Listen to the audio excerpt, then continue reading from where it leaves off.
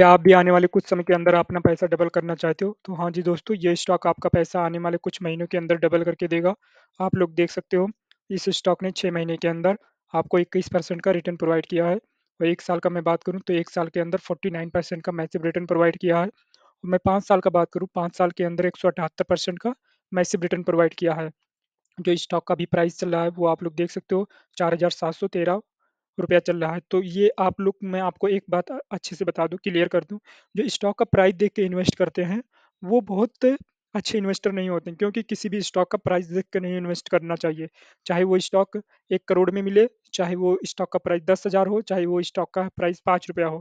क्योंकि स्टॉक का प्राइस नहीं मायने रखता स्टॉक का जो है फंडामेंटल मायने रखता है, उसका सेल्स ग्रोथ मायने रखता है, उसका प्रॉफिट ग्रोथ मायने रखता है एंड उसका रिटर्न मायने रखता है। उसमें प्रमोटर होल्डिंग कितना है, म्यूचुअल फंड होल्डिंग कितना है, ये सब मायने रखता है क्योंकि अभी तुम पाँच रुपये का कोई स्टॉक खरीद लो, उसे ₹10 होने में बहुत समय लग जाएगा और इसे आप खरीद लोगे तो ये अभी ₹47 में मिल रहा है और इसे ₹10,000 होने में ज़्यादा समय नहीं लगेगा क्योंकि ये एक अच्छी कंपनी है ना।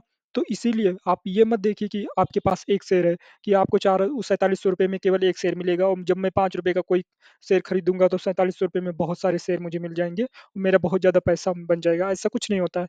आपको ये आपने माइंड से निकाल देना है कि आपको किसी भी कंपनी में इन्वेस्ट करने के लिए उसका शेयर प्राइस नहीं देखना है। और मैं इसमें बात करूँ कि जो प्रमोटर होल्डिंग है, ये 49% है, म्यूचुअल फंड होल्डिंग जो है 7.5% है। और जो फॉरेन कंट्री के बंदे इसमें इन्वेस्ट कर रखे हैं, इन्वेस्टर हैं, वो 28% इन्वेस्ट कर रखे हैं। मैं इसका प्रॉफिट एंड सेल्स का बात करूँ तो आप लोग ये देख सकते हो तीन साल के अंदर जो सेल्स किया है, वो 23% का सेल्स किया है, पाँच साल के अंदर 11% का। और तीन साल के अंदर जो प्रॉफिट हुआ है इस कंपनी को 43% का प्रॉफिट हुआ है, पाँच साल के अंदर जो प्रॉफिट हुआ है 12% का हुआ है।